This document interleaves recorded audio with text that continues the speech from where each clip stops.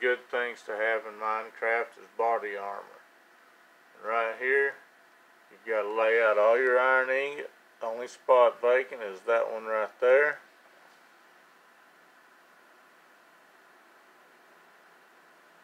And you've got yourself an iron chest plate.